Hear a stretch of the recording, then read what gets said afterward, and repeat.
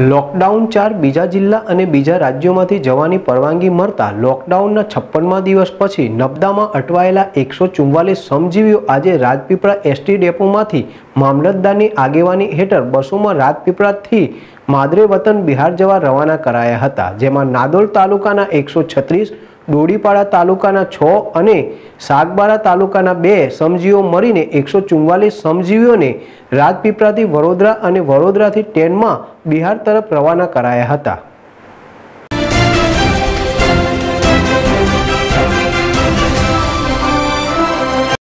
શ્રમિકો માટે રાજપીપળા બસ સ્ટેન્ડની જગ્યા ફાળવી આપતા રાજપીપળા એસટી ડેપો શ્રમિકોથી ઉભરાયું હતું. નાંદોદના મામલતદારે ખાનગી બસો અને જીપની વ્યવસ્થા કરી હતી. મામલતદાર ડી કે પરમારની આગેવાની હેઠળ આજે સવારથી તમામ શ્રમિકો સત્તાવાર પાસ ઇસ્યુ કરાવવા માંડીને દરેક મેડિકલ ચેકઅપ કરી દરેકને માસ્ક અને સેનિટાઈઝર આપી થર્મલ સ્કિનિંગ કર્યા બાદ સોશિયલ ડિસ્ટન્સ સાથે લાઇનમાં ઊભા રાખી વારાફરથી બસમાં બેસાડવામાં આવ્યા હતા. જોકે બસમાં ત્રીસ મુસાફરોને બેસાડી ખાનગી બસોમાં રવાના કરાયા હતા. માત્ર એસટી તંત્ર રવાના કરવા અને પ્રક્રિયા માટે એસટી ડેપોની જગ્યા ફાળવી આપતા આજે સવારથી જ એસટી ડેપો શ્રમિકોથી ઉભરાયો હતો. બે માસ પછી પોતાના વતન જવા મળતા શ્રમિકોના ચહેરા પર ઘરે જવાનો આનંદ અને ખુશી સલકાતી હતી. જોકે બસમાં બેસેલા બે મુસાફરોને પૂછતા તેમને હૈયાવરાર અને તંત્ર સામે રોષ ઠાલવતા જણાવ્યું હતું કે સાહેબ, તમને બે મહિનાથી ભૂખ્યું ચર્ચા જેમ તેમ દિવસ કાઢ્યા છે. તો અમારું મન જાણે છે અમારા ઉપર ઉપકાર કરતા હોય તેમ સેવાભાવી લોકો થોડી ઘણી મદદ કરતા હતા. અમારા રહેવા જમવાની કોઈ ઠેકાણા ન હતા. અમને ખાસ કોઈ મદદ મળી અમારી પાસે ભાડાના પૈસા ન હોવાથી ઘરેથી પૈસા મંગાવી ખર્ચીને આજે અમારા વતન જઈએ છીએ. અમે બે મહિના ખૂબ હેરાન પરેશાન થયા છીએ.